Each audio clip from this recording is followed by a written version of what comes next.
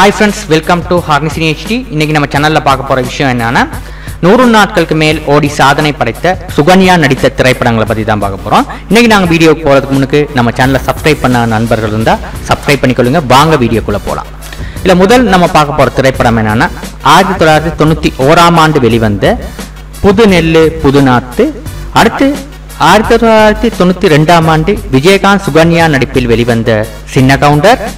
அடுத்து அதே ஆண்டில் அருண் பாண்டியன் சுகன்யா நடிப்பில் வெளிவந்த கோட்டை வாசல் அடுத்து அதே ஆண்டில் சத்யராஜ் சுகன்யா நடிப்பில் வெளிவந்த திருப்பதி பழனிச்சாமி அடுத்து அதே ஆண்டில் வெளிவந்த பிரபு சுகன்யா நடிப்பில் வெளிவந்த செந்தமிழ் பாட்டு அடுத்து அதே ஆண்டில் பிரபு சுகன்யா நடிப்பில் வெளிவந்த சின்ன மாப்பிள்ளை அடுத்து ஆயிரத்தி தொள்ளாயிரத்தி தொண்ணூத்தி மூணாம் ஆண்டு சத்யராஜ் சுகன்யா நடிப்பில் வெளிவந்த வால்டர் வெற்றிவேல். அடுத்து தொண்ணூத்தி மூணாம் ஆண்டு அதே ஆண்டில் வெளிவந்த கார்த்திக் சுகன்யா நடிப்பில் வெளிவந்த சின்ன ஜெமீன். அடுத்து அதே ஆண்டில் சரத்குமார் சுகன்யா நடிப்பில் வெளிவந்த கேப்டன். அடுத்து சத்யராஜ் சுகன்யா நடிப்பில் வெளிவந்த வண்டிச்சோலை சின்னராசு. அடுத்து தொண்ணூத்தி நாலாம் ஆண்டு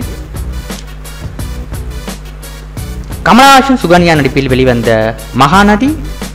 அடுத்து தொண்ணூத்தி ஆறாம் ஆண்டு சரத்குமார் சுகன்யா நடிப்பில் வெளிவந்த மகாபிரபு. அடுத்து அதே ஆண்டின் கமலஹாசன் சுகன்யா நடிப்பில் வெளிவந்த இந்தியன். அடுத்து அதே ஆண்டில் சத்யராஜ் சுகன்யா நடிப்பில் வெளிவந்த சேனாதிபதி.